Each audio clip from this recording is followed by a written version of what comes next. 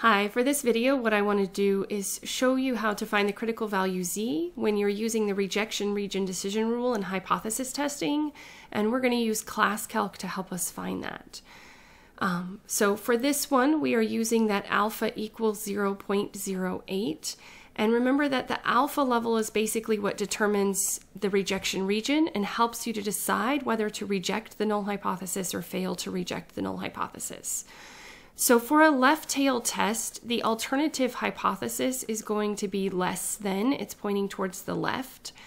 Um, the tail of the test is always dependent on the alternative, not necessarily where the claim is. If the claim happens to be in the alternative, then it will determine the tail of the test. But no matter what, if the alternative is less than, then you are going to use a left tail test. So what we're going to do is we're going to shade alpha. This is going to be our rejection region. And so after we run whatever test we're running, if it's a Z test, we're trying to find the threshold for rejecting. If it falls in this shaded region, then we reject the null hypothesis. If it falls outside of the, the shaded region, then we fail to reject. So depending upon your textbook, your critical value can be denoted as ZC, Z star, or Z naught. So those are all of the different symbols that I have seen in textbooks. You may have something different, but um, depending upon what your textbook author decides to use, this could change. Okay, they all mean the same thing. It's just your critical value for where we are going to reject or fail to reject.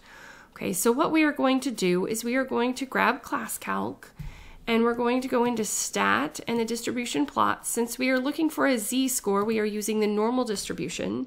And remember that in the normal distribution, the standard, um, the mean and the standard deviation for the standard normal distribution is 0 and 1. So whenever you are looking for a z-score, you would use 0 and 1. And then what we are going to do is we want the inverse of that because we are looking for the z-score. And um, not the area. So this time we're given the area and we're trying to find the z-score. So what I would do is I would just plug in my alpha level and this is the critical value. So negative 1.405 and the reason that I did three decimal places instead of just two, typically with z-scores we round to two decimal places, but whenever the third decimal place is a five or rounds to a five, it is best to list out three decimal places. If you are working with an online homework platform, it is possible that they tell you just to go ahead and round to two decimal places, so you can round it to negative 1.41, but it's honestly better if it's directly in the middle to leave it as three decimal places.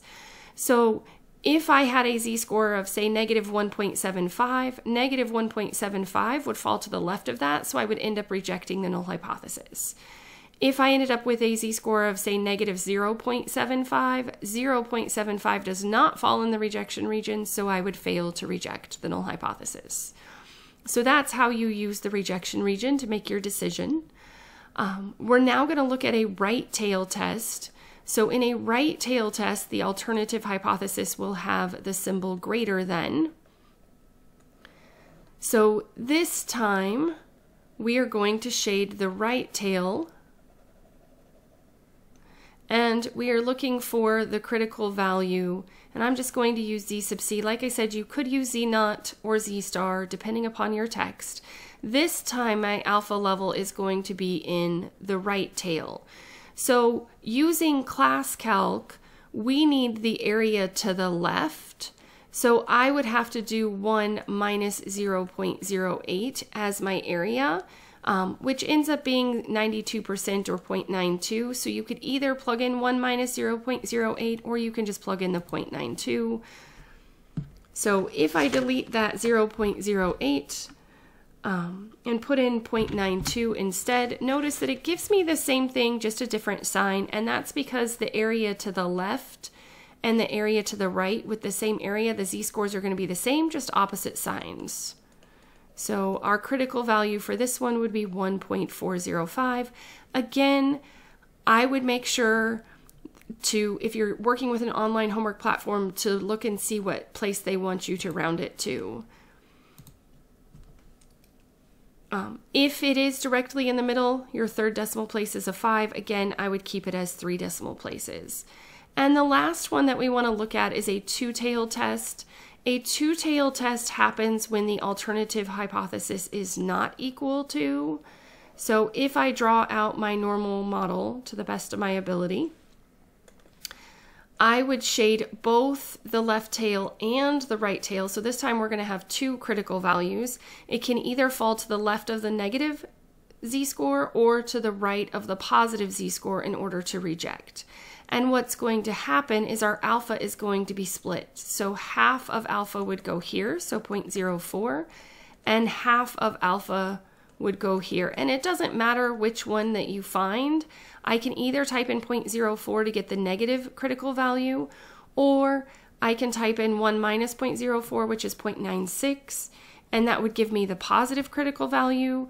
Typically, I just find the negative one because it's easier. So if I just go in here and I plug in 0.04, um, I get negative 1.75. And since the third decimal place on this one is a zero, I would just keep it to two decimal places. So I can say that my critical value is negative 1.75 and it would be positive 1.75. So if I ended up with a negative 1.9, I would reject.